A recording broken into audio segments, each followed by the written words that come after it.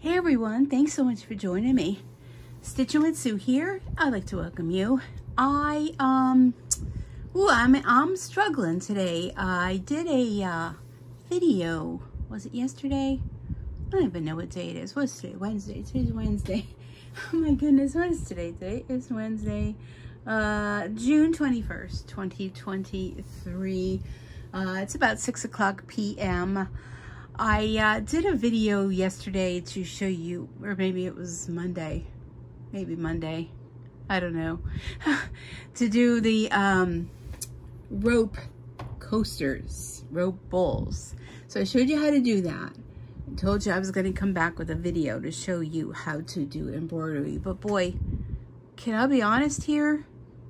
Wow, I'm, I've been struggling I started this this morning and it's six o'clock in the evening now.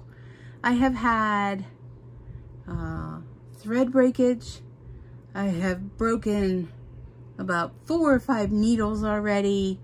Uh, the first item I did was a uh, what I thought was not too well uh, involved stitching.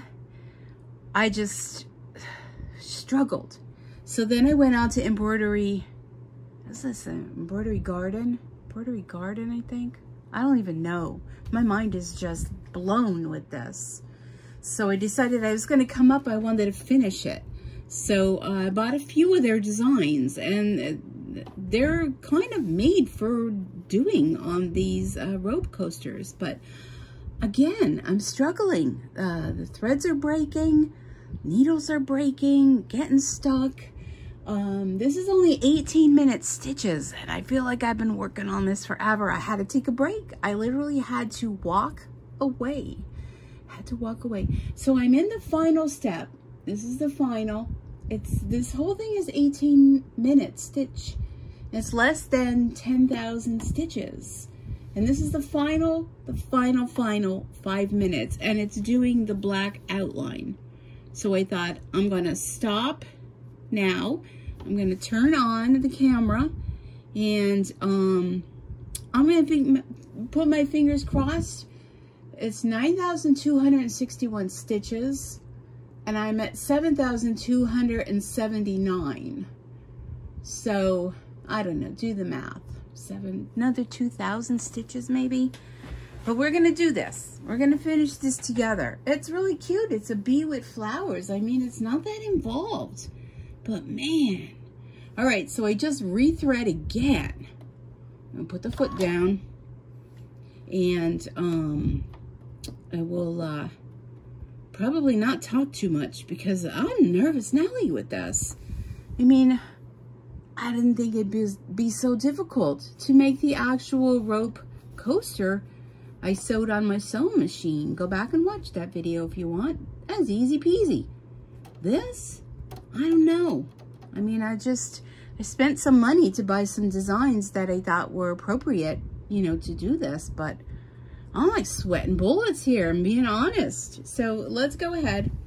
Um, I kind of was holding in the button here to let it do stitch by stitch.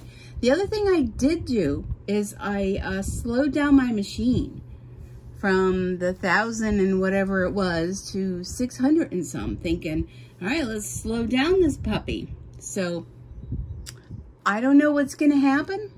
I don't know how many more needles I'm going to break and thread I'm going to break and have to rethread, but I'm going to do this. We're going to do this together. We're going to do this together. All right, so here we go. But um, I'm using a wash away stabilizer. I'm going to hold the button in. You know, I'm going to do that. I mean, if I have to hold the button in for five minutes, so be it. Um, but I'm washed uh, five by seven hoop. I made my coaster five inches around, about five inches around.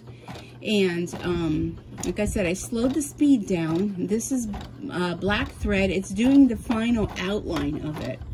You hear it? Wow. Um, I used a spray, uh, a, a glue spray that's appropriate for machine embroidery. I can show you that, but not right now because I'm holding the button. I just want to finish it. I mean, I'm scared to do another one. I don't, I don't know. Have any of you done this? Is there something I'm doing wrong? Am I supposed to use a tearaway? I, I mean, I, I don't know. Maybe I should go back and read the directions. I didn't think that I was going to need directions for it, but maybe I do. I don't know. So we're at uh, 7,375. I'm going to let it go. Let's see. I'm going to let it go. I can keep my finger nearby to stop. But you hear it? It's like a struggle. I hope I don't like do anything to my machine. I mean, I know this is done. People do it. I'm going to slow down here. Uh, people do it. You know, I mean, uh, I've seen them. They're, listen. This is a new needle. You hear it? I don't know. If you have any suggestions, tips, whatever. And uh, to the person that said too much talk, mm-hmm. This might not be your channel because I talk. Why do I talk? I talk because, um, you know, sometimes you need to talk. You need to talk to people that do what you do and can relate to what you do. And um, this is what we do, right? We talk, we discuss, offer suggestions. But if any of you that are watching have done this, or no, I'm going to let it go again, listen to it.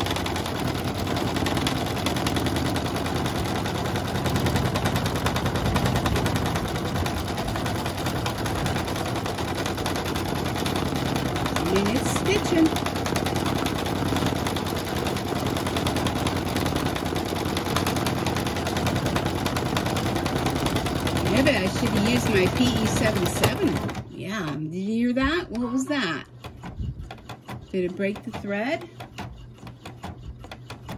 I don't see the thread. I don't see the thread moving. Yeah, no, it broke the thread. Look at it. I mean, look at it. so, um, I'm not sure if I'm going to do another video on it. But I know I promised you all that I was going to do a video. And I know a lot of you were excited. You're like, we can't wait to see. Sue, we want to see you do this.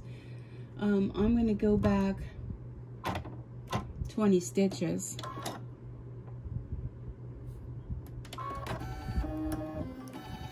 Yeah, see, I don't know. Maybe that bent the needle. Because look, it's not even threading the needle. Let's try it again.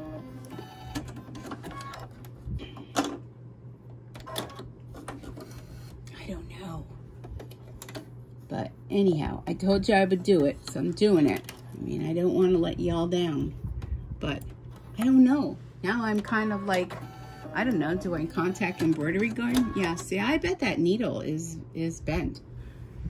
Um, so let's change the needle. I mean, this, this little coaster, I use a little nickel to, um, and the sun's coming in the window, so I apologize for that. I'm gonna uh, loosen this up. I'm gonna take the needle out. If I can get it out.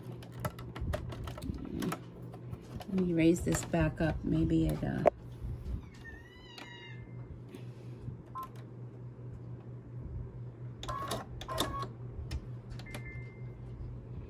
Use the presser foot button to lower the presser foot. Okay.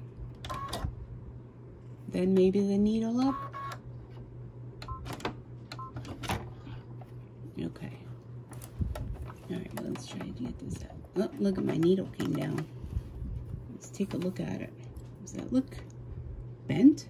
Yeah, oh yeah, see how it's bent? It's like bending the freaking needles. I'm sorry I used the word freaking, but oh man. And those of you that like, I don't know what you do with your used needles, but I use an old pill bottle. This is from the beginning when I started embroidering. Just keep adding needles, and I'm going to eventually, um, you know, throw it out. But let me get another needle. This is a very expensive coaster. And I just realized I don't have my microphone on. So I'm sorry. No microphone. I'm very worked up. Let me raise this up. Very worked up over this. Hoping that I haven't done anything to my expensive machine. But I'm thinking I should have done the PE770. I mean, that puppy is like a, a tank. Maybe I'll try doing that. And get the needle in there. All right, hold on. Let me put the foot down. Sometimes that gives you a little bit more room. Get that needle in there. One thing I would suggest, and this is last time I took it in for service, they told me that um, don't just tighten this with your fingers.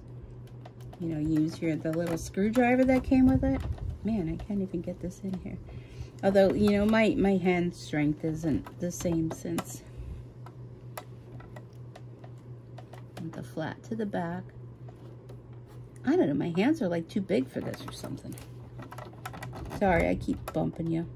Ow, ooh, I just poked myself. All right, so I'm gonna, I'm gonna loosen this up. Let's see. Push it all the way up. I'm gonna tighten it. Then I'm gonna use my little nickel and it fits perfectly in that. I'm gonna tighten that up. All right, let's lift our foot, our foot. Oh my goodness. I don't know, I'm like sweating here. I'm sweating bullets. I have the window open. I got the ceiling fan on high. Let's see. All right, so it threaded that time. So the needle's straight. If, if it won't thread the needle, majority of the times mean, that means that your needle is probably bent. Uh, where are we at here? Uh, we're almost, we're at 7,800. All right, here we go. Oh, jeepers. Are you kidding me? See? What happened there? It broke the freaking needle. It broke the needle. The needle is broken. I don't know. So I am a little ticked. So they spent money to buy the designs. Look at the needle is broken and it's bent. Oh, good heavens here's the other part of it. That's the other thing. You want to be careful. You break a needle. Because um, I'm looking for where my my scissors. I think they fell. Where are they?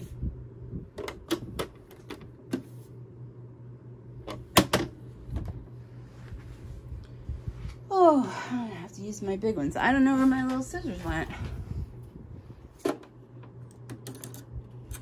um, oh, uh, what was I saying? When you break a needle, you want to make sure you find it. Because it falls down in the contraption underneath, can't, there, I see it's shiny. See it's shiny? There it is. There it is. Whoop, there it is. Look at that, it's like really bent. I don't know. I don't know, folks. Don't know. Here we go. Here's another one. Another one for the needle jar. I mean, this little coaster is to end up costing me like $25 by the time I'm said and done. Between all the thread, all the broken needles. I'm using organ needles now because the Schmetz needles, I, I use them all. And I kind of switched to Schmetz. I had seen a uh, show. They did a AllBrands did a YouTube um, live with Schmetz needles and I'm like, yeah, I'm going to get them. I got them off Amazon. And I have to say, I think I like them better than the organ needles. But I use them all now. put that down. Here we go again, folks. I think I'm going to try this one more time. And if this does not work, you know, there comes a time in an embroidery person's life that you just gotta say, I'm done with this. I know, I sound weird today, don't I? I sound weird? I'm frustrated. I mean, I've never experienced. I mean, I have had thread breakage. Oh, I have to raise this up. I've had thread breakage. I've had needles break. Not like this. I'm afraid I'm going to ruin the machine. So I want that thread.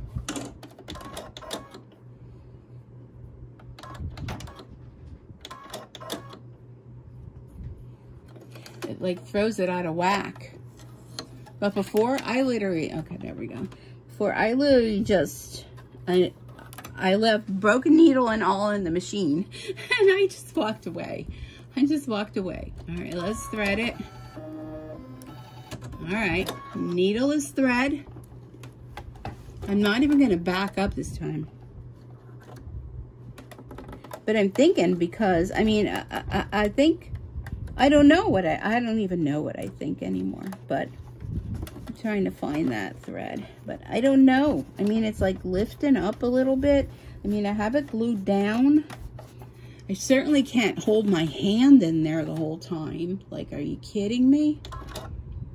All right, here we go.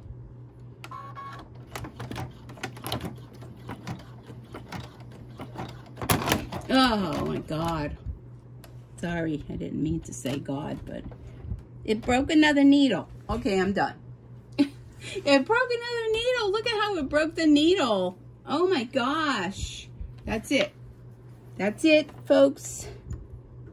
I'm done. I mean, is it because it's so dense that it's going over? But it's it's supposed to be made for this. So, what do we do in this instance? Here's what we do. I'm going to show you. Let me um let me get all this out of here. I think after this, I'm going to go back to stamping because I didn't even make it to 8,000 stitches yet. So I have more than a thousand stitches to do. Use the presser foot. Oh, all right, pressure foot. But I don't think the presser foot went all the way up. Because I think, there we go. It threw everything off. That's it. That's it. That's it. All right, let's get this needle out of here. Oh my gosh, like look at how that broke it right off. Can you see that? Like it like literally. But I want to show you something. And I'm gonna here's here's the other little tiny piece. It's right here. I don't want to uh, I don't want that to fall on the floor because you know it go in it can go in the carpet and then man you step on that you're gonna be going for a trip to the emergency room. We don't need that, do we, in our life? No, we don't. All right. Um. I'm, I'm stopping. I'm stopping. I mean, you were good while you lasted. It would have been fabulous to do. Let me show you. Would have been fabulous to do all the outline. Let's look at the back. Oh, look, I'm pulling my bobbin thread.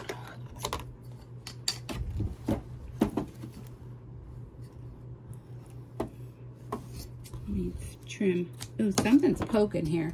I bet there's a piece of needle still stuck in there. Something was poking me. Ow! Yeah, there is, up in the flower here.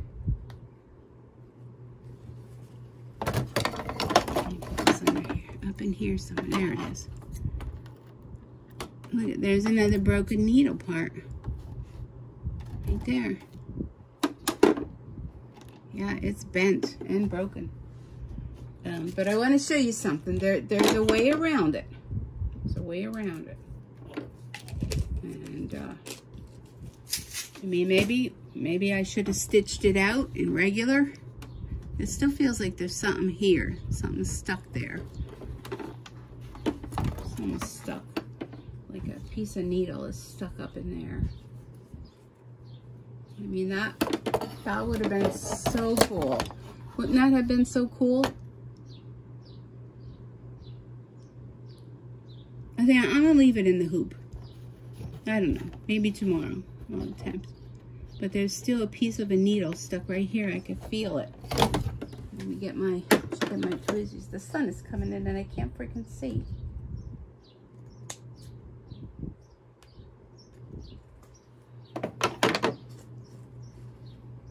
Need to get the tweezers.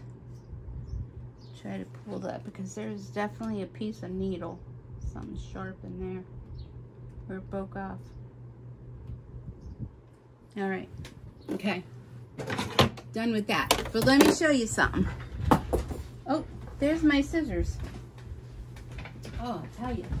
I don't know. I think, it, like, I'm not an, a drinking person, but right now, I feel like I could go for a glass of wine. Okay, so let me, let me show you. Come on over here my desk. Okay, so here was a rope bowl that I made. Very cool, right? And, uh, and I just bought a bunch more of the rope, but I don't know. We'll figure something out.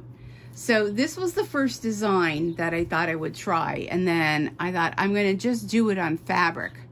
Okay. And it's probably a good thing because look how dense this is. You don't want to use a dense thing like this. I had a few, look at the back of it. I had a few needles that broke on this one. Not nearly as much as broke on that other one though. But look how pretty that is. So here's, here's the thought. The thought is to uh, stitch it in the bottom of the basket. So A, it could do this. It could take this, I already trimmed it, but I could take it and um, first I have to iron it and sew around. But you know, I'm getting tired of sewing today. So I'm gonna iron, I'm gonna press this first and I have this with the stabilizer. And then what I'm gonna do is I, um, I could take it and trace it around with a uh, pencil or whatever, cut it, and then do a zigzag to attach the two to this. Or you can take it and you can glue this all down, okay? And you can insert this in the bottom of your basket. And I think that's the route I'm going to have to go because I'm just too nervous now. You know? So I think that's what I'm going to do. Take this. I probably could do it like on this way. So here's the center. Now the center, I ended up with a lot of issues with the center um, because, you know, don't forget when you start to do this, you do the crisscross thing, you know, to do your center. So it's dense to begin with. But if I, you know, do this, uh, hold up to the light, probably, yeah, you can do that. Hold up to the light, trace around it, and then um, take it to my regular sewing machine and zigzag, and then just attach it to the bottom of the basket. And I think that's my route to go. I still have this piece of rope left I thought this might be fun to, you know, hot glue it. You know, I hate wasting anything. Hot glue it maybe to the end of the basket or something. I don't know. I don't know. Yeah, I, I just, can you tell I'm frustrated? But anyhow, um, where's that other one? Let me bring that one over. Let me bring it over. It's really pretty. Mm, I was really excited because the black really is bringing out. But you see how the center goes like down, like in a hole? I don't know. I don't know if I did something wrong. But I'm still determined. It's just I need to walk away from it right now. I need to walk away. And maybe tomorrow I'll come back and start fresh with a new day. So I'm not taking off. So let me tell you, this one is a 5 by 7 hoop. When I did this one, I did this in the 4 by 4 hoop. I used water-soluble stabilizer because I thought, you know, I'll just wet it and this will just all go away. Because if it's a coaster, you don't you don't want to be seeing on the back. You know, you don't want to be seeing a stabilizer on the back. Um, maybe I was wrong in that. Maybe I should do some more research. But um, I figured, you know, I would just water-soluble stabilizer with my little uh, water brush and get rid of that and we'd be good to go. And I mean, I was gun-ho. This was going to be, I was going to be working on lots of, of these rope coasters, but I may be rethinking that. My other thought is, and I've done it before, is use my embroidery thread, the variegated embroidery thread. Sorry, I keep hitting the stand. Um, variegated embroidery thread and do the zigzag around. And that looks really cool too. But I'm just, just so disappointed because I really think that that black stitching really is going to bring that out. But I don't know. Maybe another design. Maybe I'll try another design and I'll first do it just on a piece of um, muslin and see how it stitches. But this one definitely is too dense. But isn't it gorgeous? This is this design is from Creative Fabrica. And the other ones I, I bought today are from Embroidery Library. And I'm really mad because, I mean, I bought a bunch of designs. And if I can't do it on these coasters, To have to make, I don't know. This would even be cute to make like little gift bags. You know, you would like sew it on your regular machine. But I love the bee. Love the detail in this one. But man, look at the back. That's like one hot mess. And that is hard. I mean, that is. So, that, my friends, in a nutshell, is embroidering on these rope coasters. I'm not giving up. I'm just quitting for today. So if you have any suggestions, comments, please nice. Please don't tell me I talk too much. I mean, that this is my channel. If you think there's too much talk, this might not be the channel for you then. But anyhow, I am going to finish this up. I'm going to upload the video for you. I have a Zoom meeting to do um, with my stamping business. Uh, it's 6.30. That starts at 7. I'll have enough time in between to prepare something um, for my upcoming stamping Facebook Live. And if you're into card making, paper crafting, check out me on Facebook at uh, Stamp and Sue Creates. You're at Stitching with Stitching. No, I can't even think of my chat my channel name. Stitching with Sue. Stitching. Stitching with Sue, right? I'm too frustrated. Oh, I want to show you. Here is the spray that I used. This is um, basting adhesive. It's for sewing, quilting, embroidery, and pattern piecing. Eliminates pinning, will not gum up needles. So I cannot blame this that this is creating an issue because it's a temporary bond and it will not gum up the needle. So it's made by spray and bond and that's what I used. I sprayed it I hooped, I hooped my stabilizer and I sprayed the stabilizer and then stuck this on. Now I do have um, the flat uh, sticky hoop with the sticky paper. I may try that. I do have that. You know, maybe this is lifting up too much, like from stitching, but I don't like how it has that indentation in the center man, that, that is like a rock in the center. That is hard because this, when it's stitched, it's stitched like a base in gold and then it stitched the yellow and then it stitched the black. So, I mean, there's a lot of stitching there, but I mean, these aren't that much. And I still feel that needle. There's still a needle in here. I'm getting my tweezers. Ooh, pardon me. Need my tweezers, but I'm very sad. This makes me sad because I was excited to do this for you and it didn't work out. But such is life. Things don't always work out the way we want them to work out. So we just move on to something else. So anyhow, thank you so much for joining me again, if you have any suggestions, if you have done this, if you, maybe I, you know, I am learning just like all of you. I am not an expert. This is the first time I've done it.